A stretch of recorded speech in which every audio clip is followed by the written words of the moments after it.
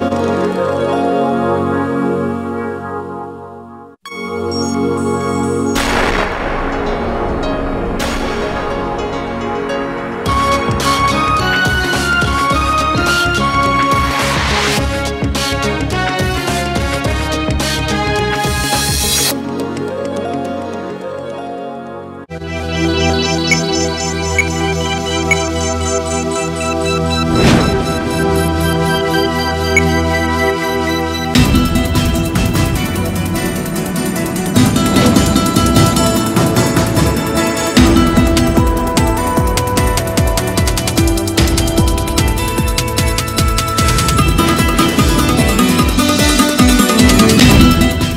Chittagong chamber of কমার্সের সাবেক সভাপতি মোর্শেদ মুরাদের বিরুদ্ধে হাজার কোটি টাকা আত্মসাতের অভিযোগ।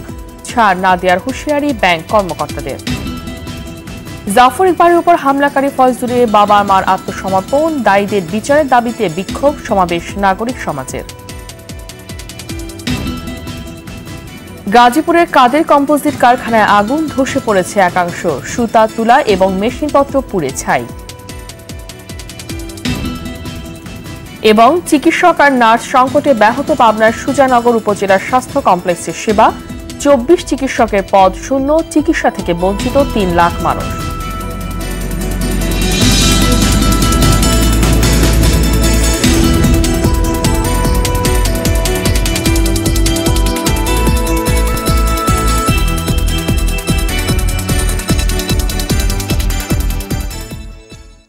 আসসালামু আলাইকুম। স্বাগত আরটিভি সকালের সংবাদে। শুনছিলেন মার্কেন্টাইল ব্যাংক সংবাদ শিরোনাম। পুরোটা সময় জুড়ে আমি সঙ্গে আছি ফাহমিদা সালাম।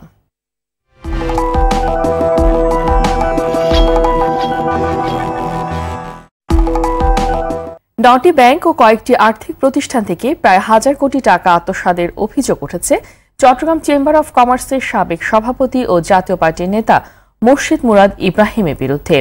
এর মধ্যে কেবল বেসিক ব্যাংক থেকে অর্থ আত্মসাতের অভিযোগে মোর্শেদ মুরাদ ও তার স্ত্রীর বিরুদ্ধে মামলা করেছে দুদক। ব্যাংক কর্মকর্তারা বলছেন, মোর্শিদ মুরাদের নেয়া একটি টাকাও ছাড় দেওয়া হবে না। অর্থনীতির নানা অনিয়ম নিয়ে সেলিম মালিকের ধারাবাহিক রিপোর্টের আজ শেষ পর্ব। দেনাসহ বাবার রেখে যাওয়া ইব্রাহিম কটন মিল বিক্রি করে চট্টগ্রাম চেম্বার অব কমার্সের সাবেক প্রেসিডেন্ট মুর্শিদ মুরাদ ইব্রাহিম দশ বছর আগে গড়ে তোলেন ক্রিস্টাল গ্রুপ নামে একটি নতুন প্রতিষ্ঠান। এরপর প্রতিষ্ঠানকে কেন্দ্র করে বিভিন্ন ব্যাংক থেকে নামে বেনামে একের পর এক ঋণ নিতে থাকেন। যা নিয়মিত পরিশোধ না করায় তার খেলাপি ঋণের পরিমাণ দাঁড়িয়েছে প্রায় হাজার কোটি টাকা। ব্যাংকের তথ্য বলছে, মুর্শেদ মুরাদ ইব্রাহিম কেবল সরকারি বেসিক ব্যাংক থেকে ঋণ নিয়েছেন চারশো বাহাত্তর কোটি টাকা।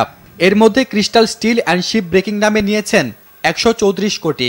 অঙ্গ প্রতিষ্ঠান আইজি নেভিগেশনের নামে একশো একচল্লিশ কোটি, বে নেভিগেশনের নামে একশো সাতাশ কোটি এবং এমআরএফ ট্রেড হাউজের নামে নিয়েছেন সত্তর কোটি টাকা। এদিকে দশ কোটি টাকার শেয়ার কিনে মুর্শেদ মুরাদ উদ্যোক্তা হয়েছিলেন ফার্মাস ব্যাংকের। তবে তথ্য বলছে, নিজের ব্যাংক থেকে তিন দফায় ছিয়াত্তর কোটি টাকা ঋণ নিয়েছেন তিনি, যা এরই মধ্যে খেলাপি হয়েছে। এছাড়া রাষ্ট্রায়ত্ত রূপালী ব্যাংক থেকে নিয়েছেন একশো তেরো কোটি, প্রিমিয়ার ব্যাংক থেকে চল্লিশ কোটি, আল আরাফা ইসলামী ব্যাংক থেকে তেরো কোটি, ট্রাস্ট ব্যাংক থেকে পঞ্চাশ কোটি এবং প্রাইম ব্যাংক থেকে নিয়েছেন বাইশ কোটি টাকা। পাশাপাশি সিটি ব্যাংক ও বিডি ফিনান্স সহ নানা আর্থিক প্রতিষ্ঠান থেকেও বড় অঙ্কের ঋণ নিয়ে ফেরত দেননি চট্টগ্রামের এই ব্যবসায়ী। একটা কনসার্ন বা একটা গ্রুপ বিভিন্ন ব্যাংকে ব্যবসা করতেই পারে, এখানে কিন্তু কোনো বার নাই। যদি তার সিআইবি ক্লিন থাকে। সেই সময় হয়তো তার সিআইবি ক্লিন ছিল। এবং তিনি বিভিন্ন ব্যাংক থেকে ঋণ নিয়েছেন। এখন যেহেতু ক্লাসিফাইড হয়েছেন তখন এখন আর হয়তো অন্য কোনো ব্যাংক থেকে বা আমাদের ব্যাংক থেকেও ঋণ পাবেন না। যতটুকু এক্সপ্যানশন করা উচিত যতটুকু তার সাধ্য তার চেয়ে অনেক বেশি উনি করে ফেলেন যার জন্য পর সামাল আর দিতে পারেন। তারা বলছেন খেলাপি হওয়া একটি টাকাও ছাড় দেওয়া হবে না।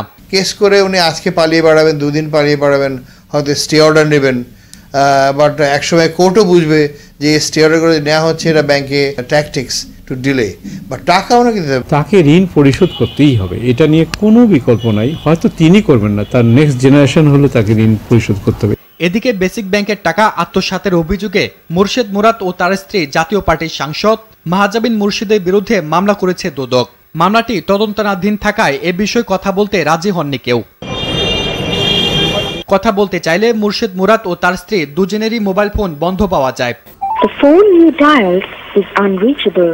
বিশেষজ্ঞরা বলছেন আগামীতে এ ধরনের ঋণ কেলেঙ্কারি ঠেকাতে দোষীদের সর্বোচ্চ শাস্তি নিশ্চিত করতে হবে। অপরাধের সাথে জড়িত প্রমাণ সাপেক্ষে তাদেরকে দৃষ্টান্তমূলক শাস্তির ব্যবস্থা করা এবং দুদক সেটা করতে পারবে এটি মানুষের প্রত্যাশা। এটা না হয়ে সেক্ষেত্রে কিন্তু একদিক থেকে দুদকের উপর মানুষের আস্থাটা থাকবে না অন্যদিক থেকে এই যে পুরো ব্যাংকিং খাত যে আহ, সংকটের সম্মুখীন এটা ধসে পড়ার মতো একটা অবস্থা সৃষ্টি হবে। পাশাপাশি ব্যাংকগুলোর ওপর কেন্দ্রীয় ব্যাংকের নজরদারি আরও বাড়ানোর পরামর্শ দিলেন তারা। সেলিম মালিক আরটিভি ঢাকা। শাহজালাল বিজ্ঞান ও প্রযুক্তি বিশ্ববিদ্যালয়ের অধ্যাপক মোহাম্মদ জাফর ইকবালের উপর হামলাকারী ফয়জুর রহমানের বাবা মা থানায় আত্মসমর্পণ করেছেন। রোববার রাতে ফয়জুরের বাবা আতিকুর রহমান ও মা মিনারা বেগম সিলেট মহানগর জালালাবাদ থানায় আত্মসমর্পণ করেন। এর আগে বিশিষ্ট লেখক ও অধ্যাপক মোহাম্মদ জাফর ইকবালের উপর হামলাকারীকে পুলিশ হেফাজতে দেয়া হয়। জঙ্গিবাদে উদ্বুদ্ধ হয়ে জাফর ইকবালের উপর হামলা করেছে ফয়জুর প্রাথমিকভাবে এমনটাই মনে করছে র্যাব। এদিকে এই ঘটনায় দায়িত্বে অবহেলার অভিযোগে দুই পুলিশ সদস্যকে প্রত্যাহার এবং বিশ্ববিদ্যালয়ের পক্ষ থেকে তদন্ত কমিটি গঠন করা হয়েছে। হামলার প্রতিবাদে দেশের বিভিন্ন স্থানে পালিত হয়েছে মানববন্ধন সহ নানা কর্মসূচি। প্রতিনিধিদের তথ্যচিত্রে নুসরাত জাহান সিনথের রিপোর্ট। শাহজালাল বিজ্ঞান ও প্রযুক্তি বিশ্ববিদ্যালয়ের অধ্যাপক ও জনপ্রিয় লেখক মোহাম্মদ জাফর ইকবালের উপর হামলাকারী ফয়জুর রহমান জঙ্গিবাদে বিশ্বাসী বলে ধারণা করছে র্যাব। সিলেটে র্যাব নয়ের সদর দপ্তরে আয়োজিত সংবাদ সম্মেলনে এ তথ্য জানানো হয়। জঙ্গিবাদে বিশ্বাসী হয়েই আমাদের ডক্টর মোহাম্মদ জাফর ইকবাল স্যারকে আক্রমণ করেছে। র্যাব জানায়, প্রাথমিক জিজ্ঞাসাবাদে ফয়জুরের কাছ থেকে বেশ কিছু তথ্য পাওয়া গেছে। সে অনুযায়ী কাজ করছে তারা।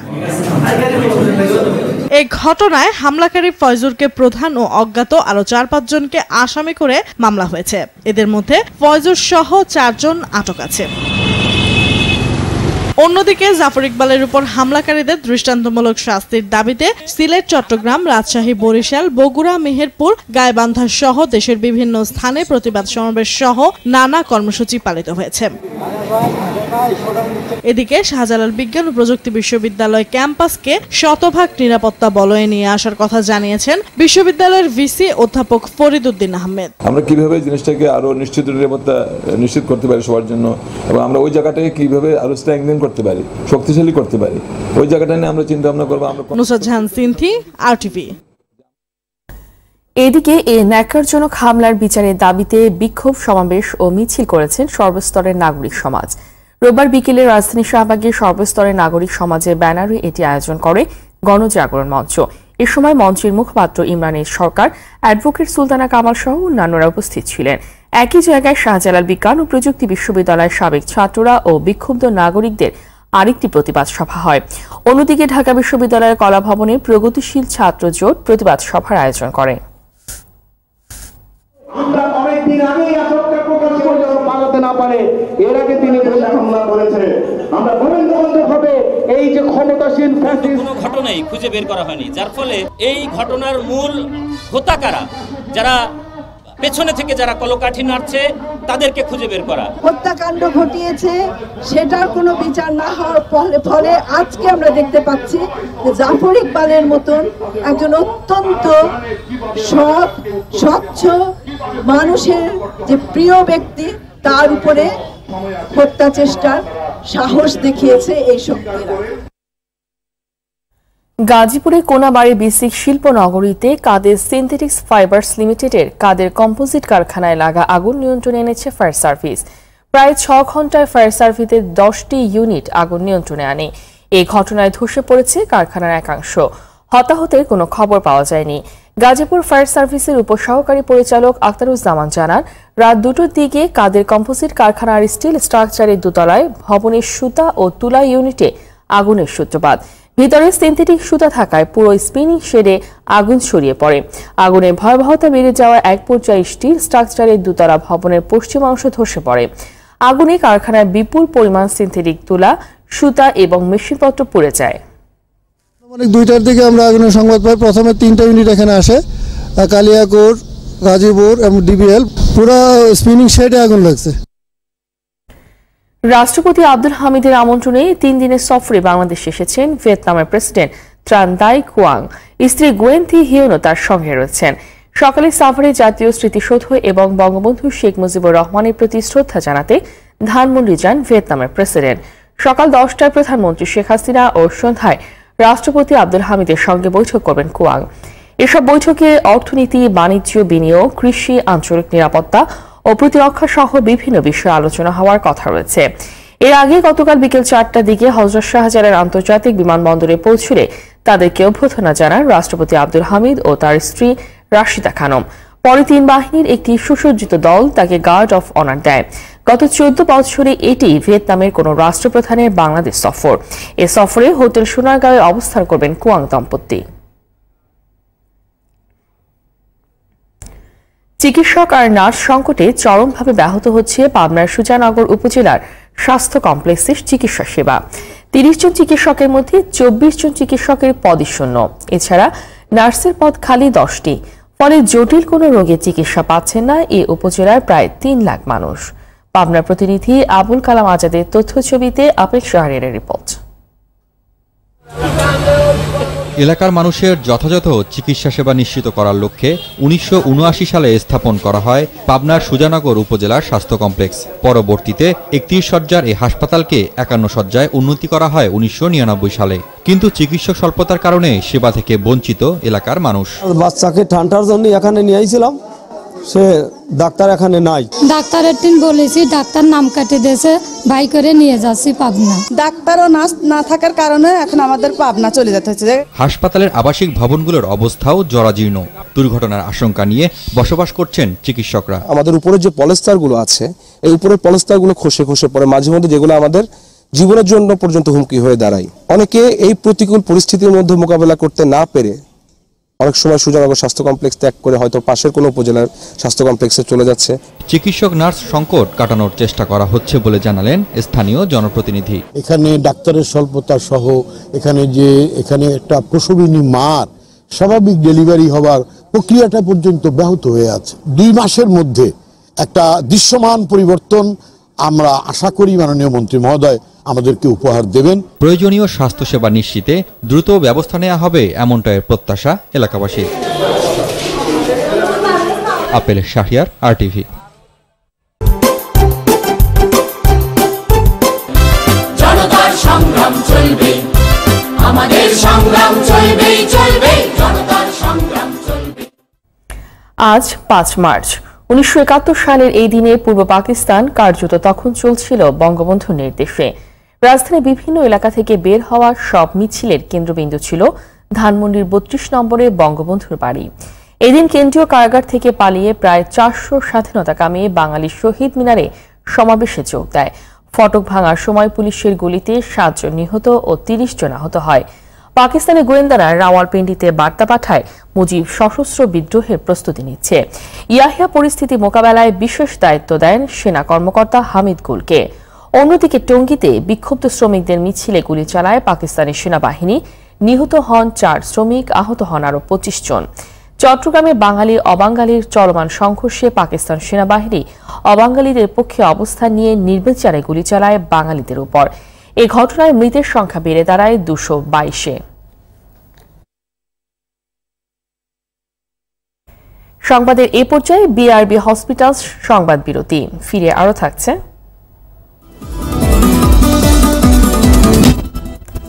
বরগুনায় র্যাবের সঙ্গে বন্দুকযুদ্ধে দুই জলদস্যু নিহত, বিপুল পরিমাণ গোলা গোলাবারুদ জব্দ।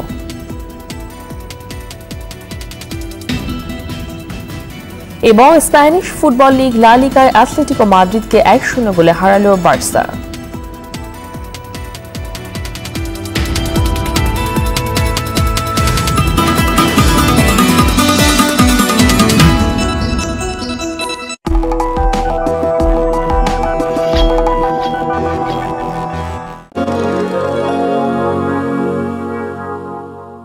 সকালের সংবাদ দেখছেন আর টিভিতে সঙ্গে আছে আমি ফাহমিদা সালাম। বরগুনায় র্যাবের সঙ্গে বন্দুকযুদ্ধে দুই জলদস্যু নিহত হয়েছে। বরিশাল র্যাব আটের উইং কমান্ডার হাসান ইমন আর রাজীব জানান, ভোরে জেলার পাথরঘাটার বলেশ্বর নদীর মাঝে চর অভিযানে চালানো হয়। পরে র্যাবের উপস্থিতি টের পেয়ে গুলি ছুড়ে জলদস্যুরা জবাবে র্যাবও গুলি চালায়। পরে ঘটনাস্থল থেকে দুই দস্যুর মরদেহ উদ্ধার করা হয়। এ সময় বিপুল পরিমাণ গোলা বারুদ জব্দ করা হয়। এবার সাংস্কৃতিক সংবাদ। অষ্টম বারের মতো আরটিভিতে শুরু হয়েছে পবিত্র মাহে রমজান উপলক্ষে আন্তর্জাতিক হিফজুল কোরআন প্রতিযোগিতা ডাবর মেসোয়াক নিবেদিত আলোকিত কোরআন। রোববার দ্বিতীয় দিনের মতো ঢাকা জোনের অডিশন হয়েছে বায়তুল নূহ জামে মসজিদ, বিজয়নগর ও পলচনে। এ সময় শতাধিক কোরআন হাফেজ অংশগ্রহণ করেন। এ অনুষ্ঠানের co sponsor Bikrampur Steel Limited, award sponsor Seven Ring Cement. অনুষ্ঠানটি পবিত্র মাহে রমজানের প্রথম দিন হতে আর টিভিতে প্রচারিত হবে। যুক্তরাষ্ট্রে চলছে বিশ্ব চলচ্চিত্রের সবচেয়ে মর্যাদাপূর্ণ পুরস্কার, একাডেমিক অ্যাওয়ার্ড বা অস্কারের নব্বইতম আসর। স্থানীয় সময় রোববার রাতে লস অ্যাঞ্জেলেসের ডলবি থিয়েটারে বসে তারকাদের জমকালো মিলন মেলা three billboards outside ebbing Missouri ছবিতে পুলিশ কর্মকর্তার ভূমিকায় অনবদ্য অভিনয়ের জন্য সেরা পার্শ্ব অভিনেতার অস্কার জেতেন স্যাম রকওয়েল। আইটোনিয়ায় মনোমুগ্ধকর অভিনয়ের সুবাদে অ্যালিসন জ্যানি পান সেরা পার্শ্ব অভিনেত্রী পুরস্কার। সেরা বিদেশি ভাষার অস্কার জিতে চিলির এ ফ্যান্টাস্টিক ওয়ামেন। অ্যানিমেটেড ছবির পুরস্কার জিতে নেন গোল্ডেন গ্লাব জয়ী কোকো। ডোকো বিভাগে শিরোপা জিতে স্পোর্টসিং ডোপিংয়ে সত্যিকার কাহিনী নিয়ে চলচ্চিত্র ইকারাস। গেলবারের মতো এবারও অস্কারের সঞ্চনায় রয়েছেন কৌতুক অভিনেতা Jimmy Kimmel.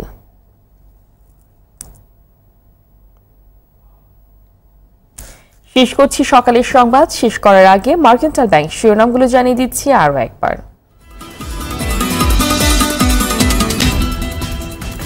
Chattogram chamber of কমার্সের সাবেক সভাপতি মোর্শেদ মুরাদের বিরুদ্ধে হাজার কোটি টাকা আত্মসাতের অভিযোগ। ছাড় না দেওয়ার হুঁশিয়ারি ব্যাংক কর্মকর্তাদের। জাফর ইকবালের উপর হামলাকারী ফয়জুরের বাবা মার আত্মসমর্পণ দায়ীদের বিচারের দাবিতে বিক্ষোভ, সমাবেশ নাগরিক সমাজের গাজীপুরে কাদের কম্পোজিট কারখানায় আগুন, ধসে পড়েছে একাংশ সুতা তুলা এবং মেশিনপত্র পুড়ে ছাই। এবং চিকিৎসক আর নার্স সংকটে ব্যাহত পাবনা সুজানগর উপজেলার স্বাস্থ্য কমপ্লেক্সের সেবা, চব্বিশ চিকিৎসকের পদ শূন্য, চিকিৎসা থেকে বঞ্চিত তিন লাখ মানুষ। সকালের সংবাদ এই পর্যন্তই। আর টিভি সর্বশেষ সংবাদ জানতে যে কোনো মোবাইল থেকে four one four one number dial করুন। আর মোবাইল ফোনের সংবাদ দেখতে অ্যাপ স্টোর গুগল প্লে এবং স্টোর থেকে ডাউনলোড করুন আর টিভি অ্যাপস আর তাৎক্ষণিক ও বিনোদন সংবাদ জানতে বিশ্বের যে কোনো প্রান্ত থেকে ভিজিট করুন W W W dot R TV online dot com এছাড়াও আর টিভির অনুষ্ঠান দেখতে পারেন ইউটিউবে ধন্যবাদ সবাইকে।